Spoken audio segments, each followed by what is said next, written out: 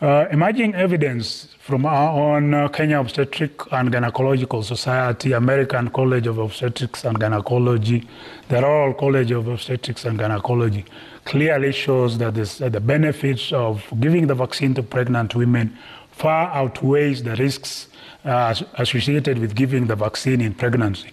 Pregnant women tend to get a more severe form of COVID because pregnancy is a state where your immune response is slightly reduced because you are carrying a baby whose genetic composition, half of it is from the father and half from the mother.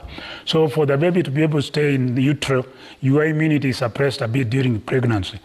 And uh, pregnant women also tend to have poor, uh, poorer outcomes. They tend to end up in ICU. They tend to have pre- preterm births.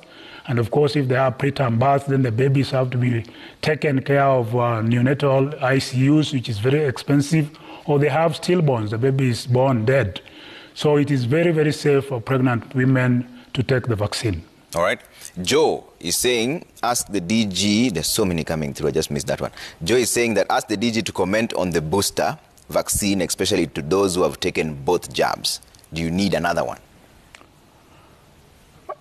For now, we don't need another booster vaccine because uh, remember, I told you we have only a fully vaccinated 2.9% of our population, target population. Yeah.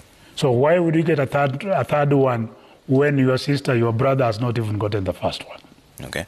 In terms of equity, let's ensure that we reach our target uh, population. Then, as more data emerges, then we'll be able to make a decision whether you require a booster. Okay.